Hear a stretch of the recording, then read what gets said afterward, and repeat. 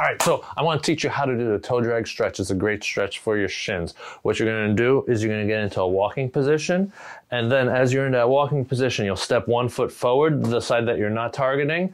Then you're going to have that back foot. You're going to take your toes and plant them into the ground, and then you're going to drive your body forward. You should feel a little bit of pressure on the tops of your toes, and that'll get that shin nice and stretched. Hold for about 30 seconds. Take it out then you can take a step and do the same exact thing. Get those toes curled, touching the ground, the tops of your foot. Then bring your hips forward, drive your body forward, causing a drag into that shin. And that's how you stretch out the shin using the toe drag stretch.